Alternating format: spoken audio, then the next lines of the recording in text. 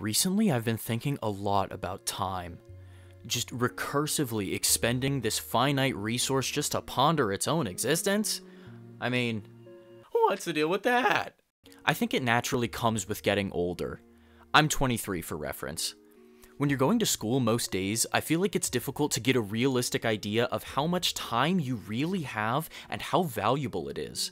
And then there's the realization of how much time you're losing when you're working 40 hours That's a so week at a place that you're not extremely passionate about. I was in the break room talking to my coworkers who are 18 and 20 about Call of Duty 19 Modern Warfare 2 the remake. They're likely playing it as I say these words, and I hope they're having a blast. The last Call of Duty that I actually got into was Black Ops 2 on the 360, and while I could make a few arguments for why it's one of, if not the best in the series, I would say the primary reason that I played it as much as I did was because I was in the 8th grade. And I don't mean to imply that adults shouldn't spend their time playing Call of Duty. Hot take incoming, you should play the games that you like. But in retrospect, the primary thing that had me locked into Call of Duty was the progression. Building the account, unlocking the gear, seeing the numbers go up. And that's not to say that Call of Duty isn't a mechanically enjoyable game, but evidently to me, it was not mechanically satisfying enough for me to have kept up with and invested my time into the series since 2012. And on a personal level, that's maybe a good thing, because I just recently escaped the sweet and evil clutches of another game that put its progression system in your face. I found it very mechanically satisfying, and it did not respect my time. Or money, oh my god. And so, lately I have found myself really valuing not necessarily short, but compact experiences across all mediums. I respect so much the ability to establish themes and execute on a concept succinctly, and to leave the viewer, reader, player with something substantive to chew on, at least for a little while. Bad End Theater gave me one of my favorite types of experiences with a game. An idea is presented. That idea is executed in a way that slaps. I see the end credits in less than 90 minutes, but if I wanted to play more, there is a reason to do so. In this game, you've been invited to in a story that's endings have been predetermined. Kind of like all video games. There are 44 endings. And they're all bad. The story can be experienced from four different character viewpoints. As you play through the story, you're confronted with different choices that then unlock specific behaviors for that character. Then back at the menu, you set those characters' behaviors while you run through the story from a different perspective. And from there, the whole game is just a giant logic puzzle science experiment. That ends bad. If I make this combination of characters behave in these ways, how will that change the storyline from this character's point of view? And so on and so forth. Thankfully, the end credits can be seen without unlocking all 44 endings, but if you wanted to do that, the game makes it very easy to see which endings you don't have and how to get them. And you get these little letters for getting all the endings for one character. I like that. And the song that plays after the end credits is some slow ass Harley Quinn bedroom pop Undertale type shit, and it was beautiful and it made me cry. It's cute, the writing is clever, and it handles some pretty dark subject matter in a way that keeps the experience lighthearted. I'm drawing attention to that to accentuate the upcoming tonal shift in the next game. Oh yeah, there it is. Milk Outside a Bag of Milk Outside a Bag of Milk is a sequel to Milk Inside a Bag of Milk Inside a Bag of Milk. Both games are interesting for the same reasons, but the second one is newer, longer, and more stylized, so that's what we're getting into here. The games center around a girl with an unspecified mental illness, although you could maybe derive that from the colors and imagery. Most of the gameplay takes place in her room. You kind of play as the girl, but more specifically, the player takes the role of what is assumed to be the girl's subconscious, or one of the voices within it. She's up late having trouble sleeping, so you spend the next real-time hour engaging in banter, collecting her scattered thoughts, depicted as fireflies. You remind her to take her meds, engage in unhelpful negative self-talk that most creatives can relate to. The game has this unique and really effective way of wholly enveloping you for its runtime.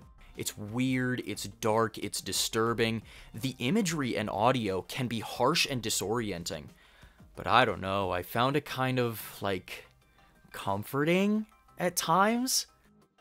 Something about just looking at this room, disheveled yet meticulously put together, devoid of all complex color, the way the background just hovers and contorts on its own, it feels like nothing even could exist outside this room.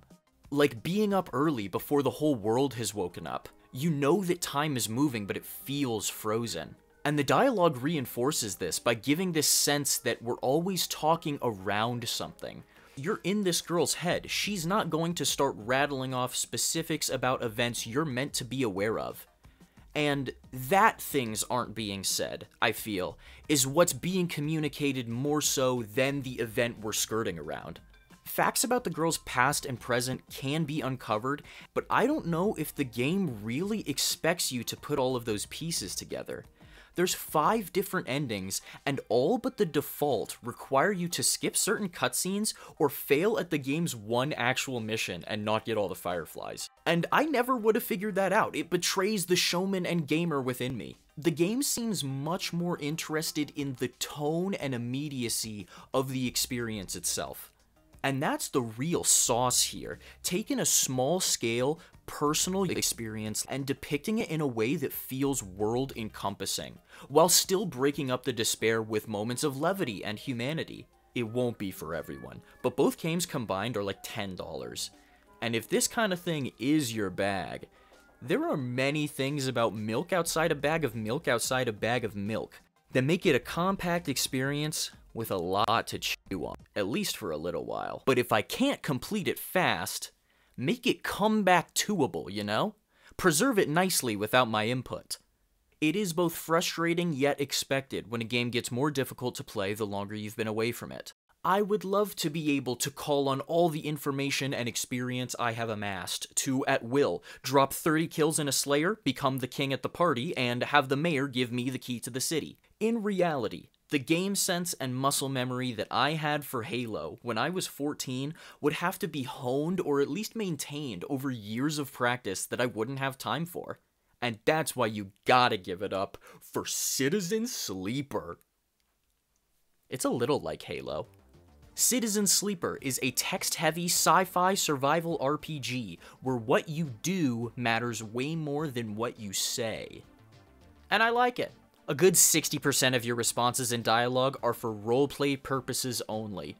That is to say, the outcome is the same regardless of what you pick. Citizen Sleeper gets a pass because of the other 40%, but much more importantly, the way that you unlock dialogue and progress with the story is through the game's survival, action, and time systems, which encourage a ton of player freedom. Sleepers are a whole group of second class citizens with emulated minds and robot bodies, after basically being lied to by corporate propaganda, a bunch of people sold their bodies to a company called Essen-Arp. But like only the bare minimum of the self makes it over to the emulated mind, so they have fractions of their memories at best.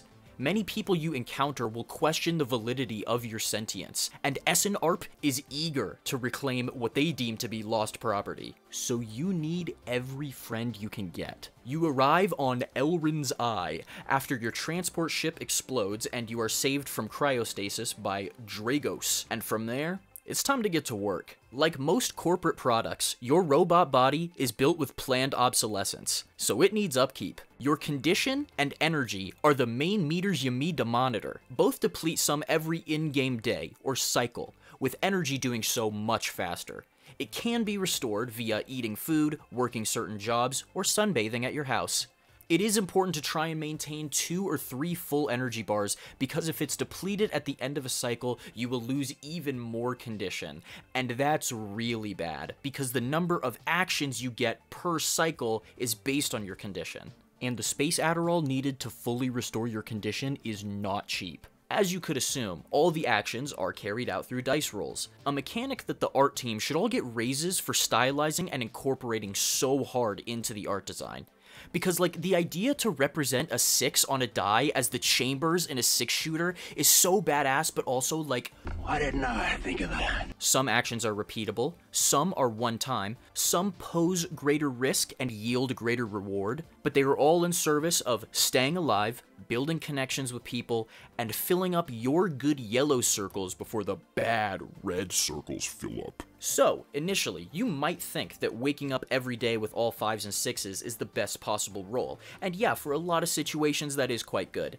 Until you realize that certain encryption keys and data caches can only be unlocked with a specific numbered die, normally a 1, 2, or 3 and it's actually deceptive how the game treats these numbers versus how you would instinctively expect them to work. In fact, the difference between a 1 and a 6 is significant, but not egregiously so. Because every action die above the number 3 simply introduces the chances for an action to have a positive outcome, versus neutral or negative. Even if you played a 1 on a risky action, your chances of achieving a neutral outcome are still 50 50 and the game calls it neutral, but it really is positive. You just get less rewards and progression than a true positive outcome would have yielded. There's a simple inventory system, money, data, scrap, as well as a variety of quest items, some of which serve as logic puzzles, but others are big player choices that will have long-standing consequences for you and me in real life. The ship mind. That you have heard about at least 10 times before actually acquiring one. Presently, I am only aware of three ways to get one, and regardless of how you did it, it's a really big deal that you did. Before you even know how to get a ship mind, you could be well aware of two different characters who need one. So if you decide to use it to free the human consciousness trapped in the vending machine, then you need to figure out how to make another if you want to help Ankita get her fix shipped. And you're probably gonna want to do that because helping NPCs complete their quests is what gives you skill points. Because yes, there's a skill tree in this game where you read and drag squares. The first whole tier are just flat increases to your rolls, but one step up is the stuff that's really gonna save your ass.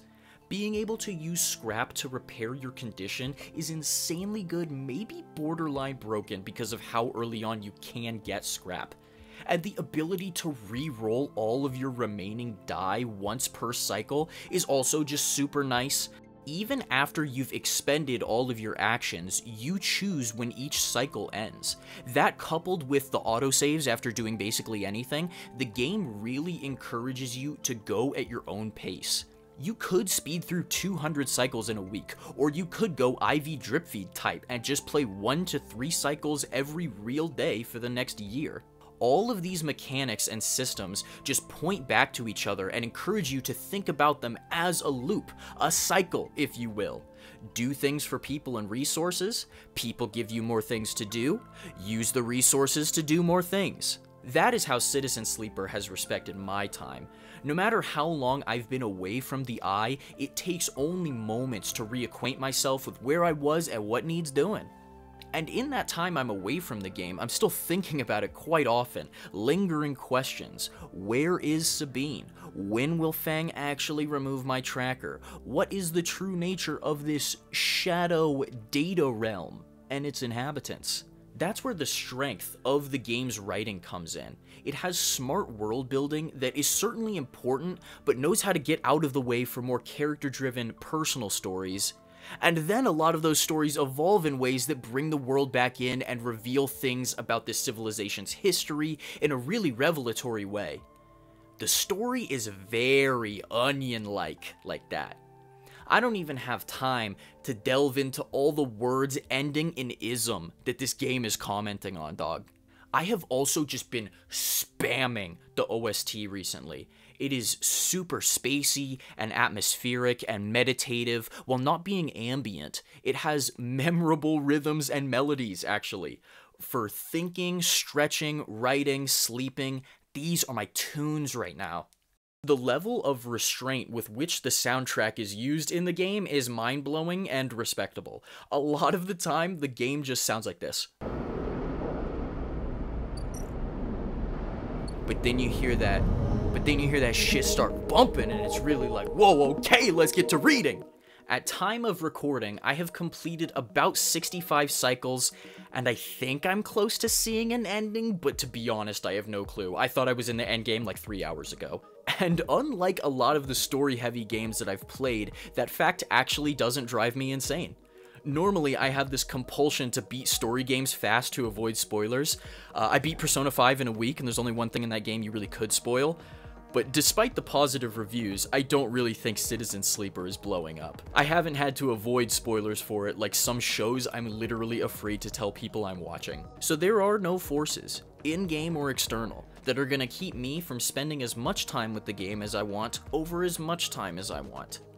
Until I die, of course. Jeg spurgte ind til Anders, om det var sandt, han var død tre gange. Anders han var født og opvokset på en vej, der hedder Pine Road ude i skovene. Og gik han ind til Elk hver dag. Welcome to Elk is a game about storytelling. But I think, even more so, Welcome to Elk is a game about the necessity of having someone to tell your story to. And I've been nice until now, but I'm going to spoil a lot of stuff in this game. Early to mid game stuff. You play as Frigg. She's awesome. She runs stupid. But so does everyone else in this game. It's actually pretty cute. And you should get used to it because most of the game is just move and interact. You have to walk home drunk at this one part, and Frigg is really hard to control. She's like ignoring your inputs, it's hilarious. You arrive at the small island town of Elk as a carpenter's apprentice. You won't be doing any carpentry. Yeah, each day something else is going down in the town. Your presence is required. Thankfully, the game is really smart with its art design, notating everything interactable simply by it just being in color. The pacing stays solid, and the chance for frustration is near non existent, because the moment you walk into a room, it's immediately clear what needs inspecting and who needs talking to. The carpenter you came to help, Jan, he's got it, you're good. Go get wasted, do karaoke, play some golf. Put down a rabbit with your bare hands! Or don't. There's lots of great characters to get to know. This is Jeppe. He is the ferryman. He brought you here. On day two, you find him frozen to death. And then start tripping while carrying his corpse. And now you're peeking.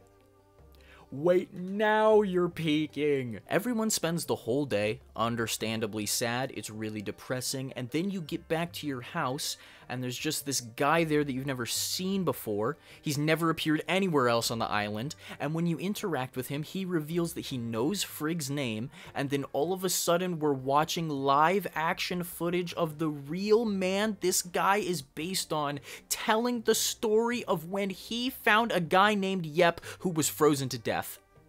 And now you're really peaking, dude. Everything that happens in the town while Frigg is there is based on a real story that actually happened to the developers or someone that they knew.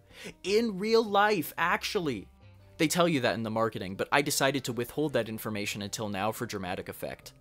The next day, a literal message in a bottle appears on your table with that story in writing, and these stories will keep appearing every day. By the end of the game, this table is full of bottles.